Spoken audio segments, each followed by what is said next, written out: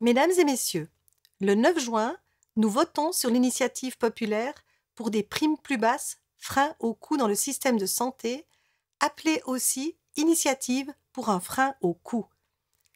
L'initiative demande à la Confédération de mettre en place un frein au coût de la santé. Elle devra le faire avec les cantons, les caisses maladies et les prestataires du secteur de la santé. Ensemble, ils devront veiller à ce que l'augmentation des coûts de l'assurance maladie obligatoire ne soit pas trop élevée par rapport à l'évolution des salaires et de l'ensemble de l'économie. Si c'est le cas, la Confédération et les cantons seront contraints de prendre des mesures pour faire baisser les coûts. L'initiative ne précise toutefois pas comment sera calculée l'évolution des salaires et de la croissance économique, ni quelles seront les mesures à prendre. C'est le Parlement qui devra définir comment mettre en œuvre ce texte s'il est accepté. Mesdames et messieurs, en s'attaquant à la trop forte hausse des coûts de la santé, cette initiative aborde un problème central.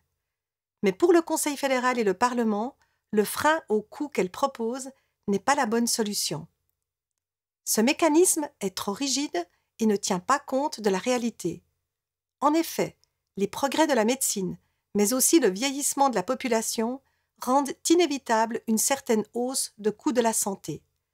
Avec le frein aux dépenses proposées par l'initiative, certains traitements pourraient ne plus être accessibles ou du moins plus aussi rapidement. C'est la raison pour laquelle le Conseil fédéral et le Parlement rejettent l'initiative et lui opposent un contre-projet indirect. Ce contre-projet obligera les acteurs de la santé à annoncer l'augmentation des coûts attendus dans chaque domaine et à la justifier. L'objectif est ainsi d'apporter plus de transparence, d'identifier les structures inefficaces et de réduire les prestations inutiles du point de vue médical. Le Conseil fédéral fixera la valeur maximale que pourra atteindre l'augmentation des coûts de l'assurance maladie obligatoire. Si ces coûts dépassent la limite convenue, le Conseil fédéral et les cantons prendront des mesures correctives.